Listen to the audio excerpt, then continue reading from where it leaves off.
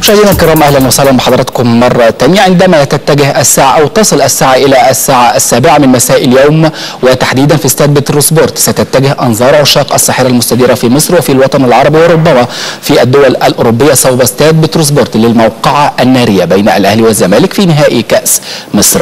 تلك الموقعه وهي خارج التوقعات. نظرا للتصريحات التي سبقت تلك الموقعه خاصة من رئيس نادي الزمالك المستشار مرتضى منصور ويعني التراشق بالالفاظ بينه وبين عدد كبير من الألتراس خاصة الألتراس الأهلي الذي قام يعني يعني بتوجيه عدد من الشتائم لعدد من رموز نادي الزمالك في استاد مختار التتش. وقام الكابتن علي عبد الصادق مدير الكره بإلغاء هذا التمرين. موقع خارج التوقعات كما ذكرت لحضراتكم. يعني النادي الأهلي يؤكد أو يريد أن يرسخ للكابتن فتحي مبروك أنه يعني جدير بتجديد الثقة فيه وتجديد عقده لموسم آخر كما الزمالك يمني النفس بانه يفوز للمره الثالثة على التوالي بكأس مصر ويريد الاحتفاظ بهذا الكأس. ترى لمن تكون القمة اليوم؟ ترى لمن تذهب كأس مصر اليوم؟ هل للقلعة البيضاء أم للقلعة الحمراء؟ هذا ما سنتعرف عليه اليوم في الساعة السابعة بتوقيت القاهرة عندما يعني تبدأ المباراة بصفاره صافرة الحكم السويدي التي سيقود هذه المباراة. يعني بعد هذا التقرير معنا الكابتن عادل عطية الناقد الرياضي الكبير ونتحدث معه عن هذه المباراة ولكن بعد هذا التقرير. عشاق الساحرة المستديرة ينتظرون بفارغ الصبر مباراة قمة من نوع خاص في نهائي كأس مصر لعام 2015 حيث تجرى الاستعدادات على قدم وساق من جانب الفريقين للفوز بهذا اللقاء المهم. الزمالك يمني نفسه بالفوز بالثنائية المحلية للمرة الثالثة في تاريخه وإيقاف سلسلة نتائجه السلبية أمام غريمه الأهلي في نهائي كأس مصر. وعقد المستشار مرتضى منصور رئيس النادي جلسة مع اللاعبين لدعمهم وتشجيعهم قبل مباراة القمة المرتقبة وطلبهم بالتركيز. وعلى الجانب الآخر فريق النادي الأهلي يمتلك دوافع كبيرة للفوز بلقب كأس مصر في مواجهة الزمالك لا سيما أنه يضم عناصر متميزة قادرة على تقديم عرض قوي والفوز باللقب. الجهاز الفني يعمل جاهدا على الوصول باللاعبين إلى أعلى درجات الجاهزية من الناحية النفسية والفنية والبدنية مع الأخذ في الاعتبار غياب بعض العناصر المؤثرة عن تشكيلة الفريق الأحمر. وفي النهاية وأيا كانت النتيجة لابد للاعبي الفريقين أن يتمتعا بالروح الرياضية والتعامل مع المباراة على أنها مكسب وخسارة حتى يعطوا المثل والقدوة للأجيال القادمة وأن يخرجوا بالمباراة إلى بر الأمان وإزالة الاحتقان الموجود بين جماهير الفريقين حتى تعود الرياضة إلى سابق عهدها وأن تعود الجماهير إلى الملاعب. اذا هي مباراة خارج التوقعات. هل يسعى الزمالك لفك النحس أمام النادي الأهلي وكسر تلك العقدة أم سيرسخ النادي الأهلي عقدة مباراته أمام الزمالك؟ الزمالك أو الأهلي فاز على الزمالك في المباراة الماضية وهي آخر مباراة جمعت بينهم في الدوري 2-0 للاعب مؤمن زكريا. ماذا سيفعل لاعبو الزمالك في مباراة اليوم؟ هل سيحتفظون بالكأس للمرة الثالثة على التوالي وللمرة الثانية يجمعون بالثنائية المحلية؟ هذا ما سنتعرف عليه مع الناقد الرياضي الكبير الأستاذ عادل عطيه أهلا بك أستاذ عادل. صباح الخير محمد صباح الخير. شايف اللقاء إزاي قبل المباراة؟ والله اللقاء سخن قبل ما يبدأ أساسا. يعني من خلال التصريحات زي حضرتك ذكرتها من خلال الشغل الجامد اللي عامله الأرسنال الأهلي والتجاوزات اللي بيعملها بشكل مستمر. ده اللي عايز أقوله قبل يعني إحنا تسبب في إلغاء التمرين بالظبط. إحنا داخلين على مباراة مباراه كره قدم وارد ده يكسب ده يخسر. ده رياضه كره قدم. لازم إحنا قبل كل مباراة ما يبقاش في شحن في جذب في تصريحات نارية في في تجاوزات سواء من ناحية الزمالك أو من ناحية الأهلي. عشان ده كله بيأثر على الأداء في الملعب بيأثر على نفسية اللاعبين بيبقى في شد أعصاب. إحنا عايزين يبقى الماتش في روح رياضيه عالية جدا. الناس كلها في العالم العربي وفي أفريقيا كلها انت أفضل أو أقوى ديربي في الشرق الأوسط تقريبا يعني. صحيح. فالناس الناس بتتابعه. فلازم إحنا نكون إحنا ندي رسالة من خلال هذا هذه المباراة إن إحنا عندنا أمن كويس جدا عندنا كوره عالية جدا عندنا نجوم عندنا أداء عندنا مستوى مرتفع عندنا روح رياضية عالية كل دي رسائل بنبعتها للخارج من خلال إن هم ديربي كرة القدم أو كلاسيكو كرة القدم المصرية. نتمنى كل ده يحصل نتمنى يكون اللعيبة على مستوى المسؤولية على مستوى الهدوء كل واحد ينزل ملعب يمتع نفسه وهيمتع الناس كلها اللي بتتابعه. نتمنى من المسؤولين الكبار سواء في الأهلي أو الزمالك يبقى على مستوى المسؤولية. يهدوا الأجواء. يهدوا الأجواء. ان دي مباراة كرة قدم. يا جماعة دي مباراة كرة قدم. مش مشكلة. مين كسب مين خسر؟ ال- الجهد المبذول والعرق والإخلاص والطموح داخل الملعب ده شيء داخل المستطيل الأخضر. مجرد ما الماتش انتهى زي ما بنشوف في أوروبا كل واحد بيصافح التاني hard luck مبروك وخلصت القصة. طيب. لأن كمان في حاجة تانية يا أستاذ محمد أنت اتفضل. دي مش أول لقاء أنت هتلعب السوبر يوم 16 أهلي والزمالك ربما نلعب وبعد كده. ربما لو أهلي ربنا يوفقه والزمالك ربنا يوفقه في الكونفدرالية هيكون في يبقى, عندك أربع لقاءات حاسمين في كل حاجة. صغير. وقت صغير جدا. فلازم الناس تتقبل ان دي كرة قدم. وارد اكسب أخسر. دي دي دي, دي موضوع لازم إحنا يبقى فيه ثوابت نمشي عليها. طيب قبل ما ندخل للأجواء الفنية وقبل ما نروح لأرض الملعب والتشكيل ومين اللي غايب عن القلعة الحمراء ومين اللي غايب عن القلعة البيضاء حضرتك ذكرت الأمن يعني حسب معرفتي إن هناك تجديدات أمنية مكثفة بدأت في الساعات الأولى من الصباح في استاد بتروسبورت في التجمع الخامس لمنع دخول آه، ال- الجماهير ومنع زحف الألتراس إلى آه، الاستاد خيس يعني إحنا عارفين إن عدد قليل من الجماهير تقريبا 50 فرد هو اللي هيحضر المباراة والأهلي 50 أيضا لل- لل- للاهلي للزمالك. و50 للزمالك بالظبط. والأهلي هدد إن هو ممكن ينسحب من المباراة إذا زاد عدد الجماهير نادي الزمالك عن 50 يعني حضرتك شايف الأجواء الأمنية قبل بدء المباراة إزاي؟ أنا شايف اجواء امنيه أجواء منظمة مرتبة.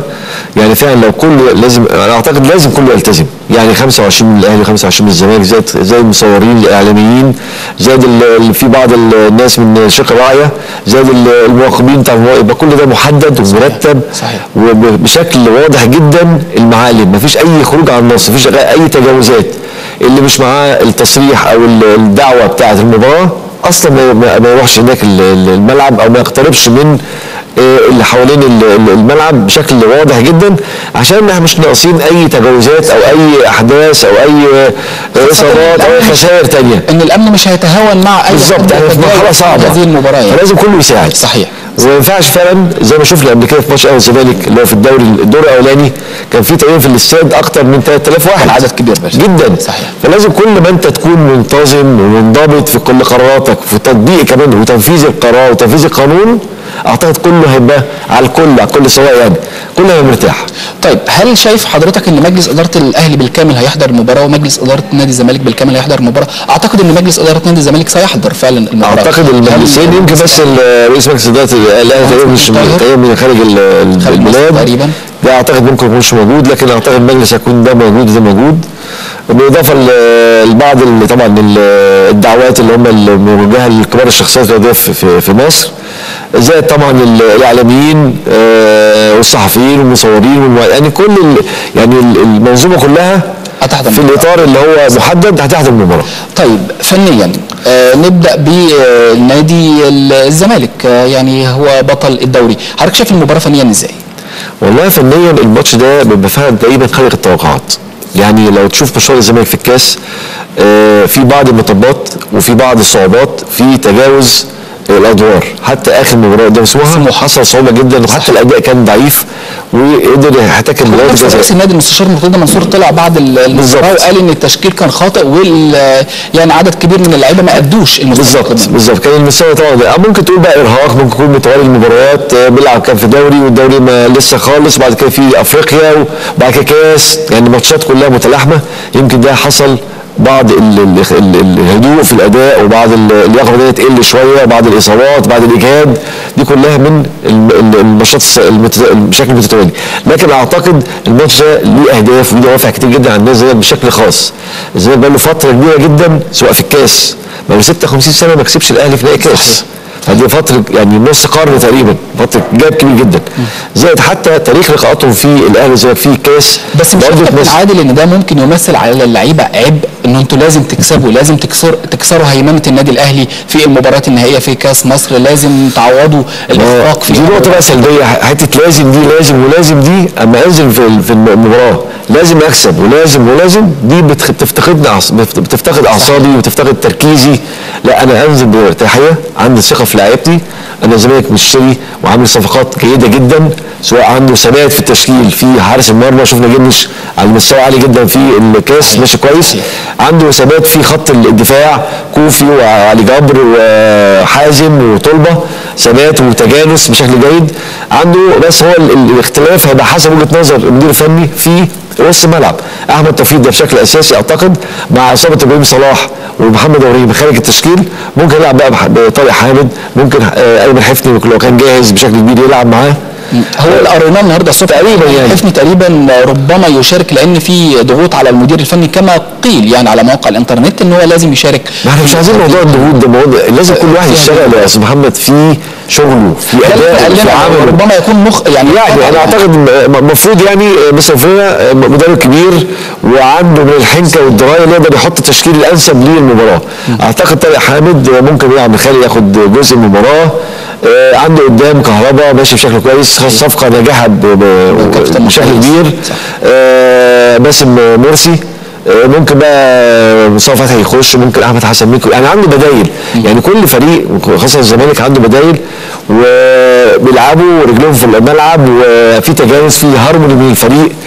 ناقص بس حتة الثقة والتركيز في الأداء مفيش توهان والضغط على المنافس بشكل جيد وإحراز الأهداف من انصاف الفرص. لأن المباراة دي كل ما يبقى عندك السبق باحراز الاهداف ويبقى عندك ثقة في أدائك. بأعصاب مرتاحة بعد. طبعا. وبتصدر الارتباك والتوتر للمنافس طيب حضرتك شايف إن إبراهيم صلاح ومحمد إبراهيم غيابهم النهارده مش هيأثر بشكل كبير على تشكيلة نادي الزمالك؟ لا هو إبراهيم صلاح هيأثر. إبراهيم صلاح بقى له فترة وديفندر عالي جدا صحيح. جدا جدا. وفعلا مستوى أداء سواء. مرتفع سواء في الخلف بيعمل ربط بين الدفاع والهجوم بشكل كبير. لكن أعتقد الصفقات اللي عملها الزمالك زي إبراهيم الخالق زي عنده آه، ايمن حفني زي عنده طارق حامد آه، من جانب أحمد توفيق ممكن يعوضوا شوية. أكيد هيعوضوا لأن برضو الدوافع كتير زي ما ذكرت الأهلي دايما متفوق على الزمالك. فعاوز هو الزمالك يخسر حدة يكسر القاعدة دي يكسر حتة ال- العقدة اللي هتترسخ عن لعيبة الزمالك يبقى عندهم رهبة أما يشوف لعيبة الأهلي. دي كلها آه، نتمنى الدوافع دي تبقى في صالح فريق الزمالك. طيب نروح آه، فنيا للنادي الأهلي. النادي الأهلي تقريبا مكتمل الصفوف ما عدا حسام غالي وتقريبا إيفونا ربما آه، حسام غالي آه، مصاب. وليد سليمان إصاب مصاب. إيفونا خارج تشكيل. ثلاثة برضه من العناصر. إيفونا طبعا ده لسه وافد جديد ده لكن التركيز كله على حسام غالي. بالظبط. حسام غالي اللي هو دايما في ماتشات الأهلي. بيبقى ليه نخهة ومذاق خاص. بيلعب بميزان عالي قوي. فوجوده دي برضه هتأثر لح- لحد ما لكن زي ما ذكرنا الزمالك الأهلي عنده آه، إكرامي في الخلف عنده دي- عنده آه، آه، سعد سمير نجيب باسم علي حسين السيد ده خط ال- الدفاع الدفاع. عنده آه، أحمد فتحي وحسام عاشور اثنين ارتكاز شايف إن هو ممكن ينزل أحمد فتحي في خط الوسط ليعوض غياب حسام عاشور يلعب بجانب حسام آه، حسام غالي. حسام غالي آه. يلعب بجوار حسام عاشور أعتقد دي فكر بتالي الفكر الأقرب للتنفيذ اللي على أرض الواقع بالنسبة لكابتن فتحي مبروك. ينزل فتحي فتحي أصل سريع قوي الالتحامات برضه بيزيد في الناحية الهجومية. وأداؤه كمان في المباريات الأخيرة الأخيرة وحقق احرز هدف يعني رائع جدا في. ماتش بتروجيت. آه، ده الجانب بقى المتألق في الفترة الأخيرة الصاعد الواعد اللي أعتقد رمضان صبحي. رمضان صبحي. آه، جنب عبد الله السعيد مؤمن زكريا. آه، ممكن يلعب بقى بفكر الكابتن فتحي. هيلعب مهاجم واحد أو مهاجمين. عنده أونتوي عنده عمرو جمال. وعنده بره متعب فعنده بدايل. يعني كل فريق من الفريقين عندهم بدايل كتير جدا وعندهم آه الدكة تقيلة. أنت عارف أي فريق عشان يخوض أي لقاء صعب البدلاء لازم تكون أقوى. بالظبط عشان يدي ارتياحية مدير فني صحيح. أي تقاعس أي اخفاقات أي سوء حظ من أي لاعب من اللي بيلعبوا في التشكيل الأساسي يبقى عنده بدائل سريعة وفكر سريع.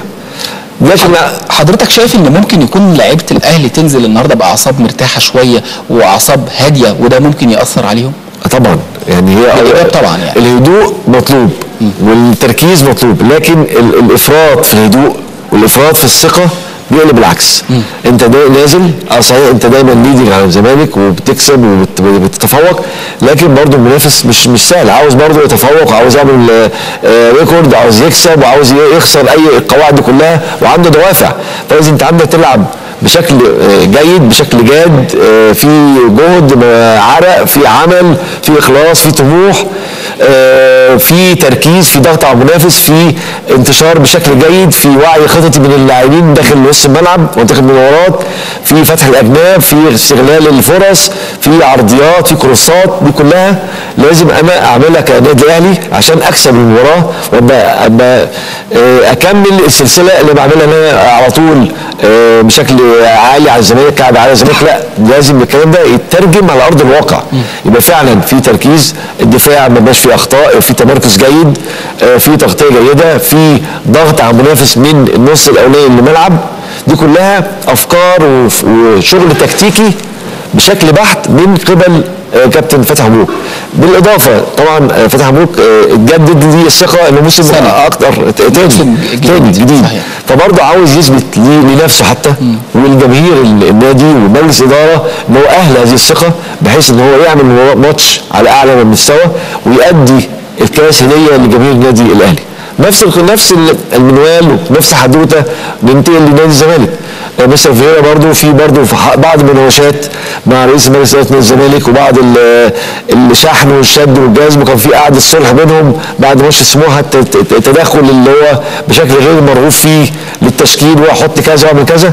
ده راجل محترف ومدير فني أنا توقعاتي إن فيريرا هيكون في موقف سيء لو خسر المباراة وخسر آه، الكاس مصر النهارده وأعتقد إن هو هيكون موقفه على شفا حفرة من النار. لا أقول لحضرتك حاجة بقى أقول لك حاجة مفاجأة للناس كلها. بقى ده رأيي الشخصي وأعتقد ده هيكون أقرب لصواب من وجهة نظري أنا شخصيا. يعني بس فيرا مش على حافة حفرة بس فيرا أعتقد إنه أيامه معدودة في الزمالك سواء كسب بعد التصريحات الأخيرة. بالظبط سواء كسب ال ال لو كسب ال- ال- ال- ال- الأهلي النهارده وخد البطولة هيبقى خد بطولتين واعتقد كده هيبقى عمل إنجاز. ما اتعملش الزمالك من فترة كبيرة جدا وكسب الأهلي وكسب خد كأس مصر خد الدوري بعد 11 سنة.